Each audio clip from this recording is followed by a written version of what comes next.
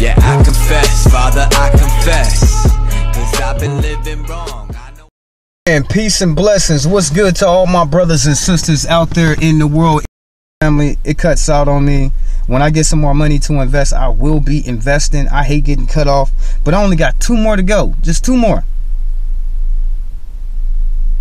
When I was 14 years old, I drove a car in a pole looking at the, the back of a sister. My godmama was mad and I had to get a summer job to fix her car.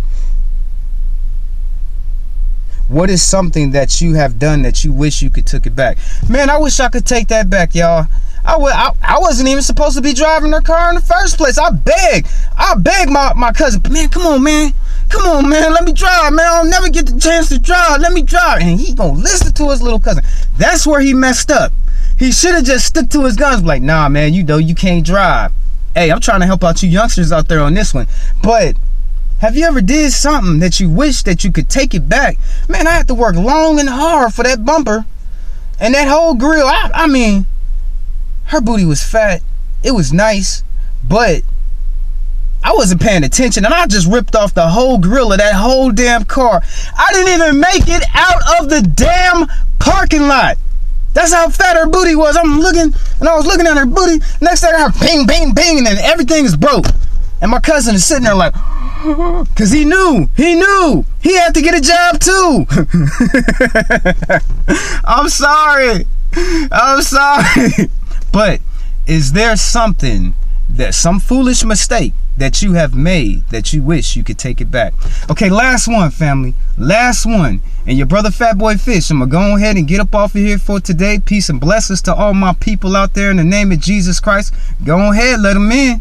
Go ahead, let him in. He loves you. He loves you. Now check this out. Last one.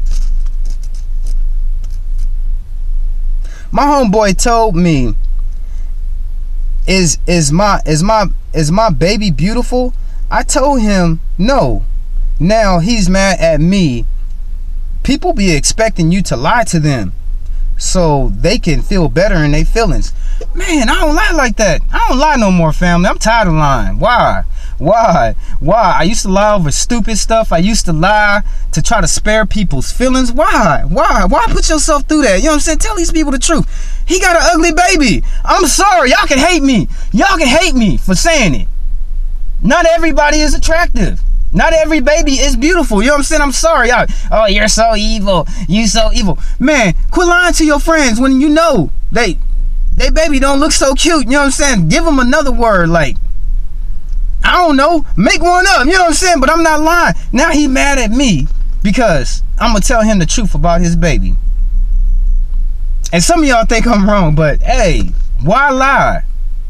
Why lie? You know what I'm saying? Why lie? It's not like I'm the only person that told him no. You know what I'm saying? He should be used to that by now. Now, family, this has been your brother, Fat Boy Fish. Peace and blessings to your day. I hope you have a peaceful, blessful day, night, evening, what have you. This is your brother, Fat Boy Fish. I'm out. Uh, yeah, I confess, Father, I confess. Cause I've been living wrong.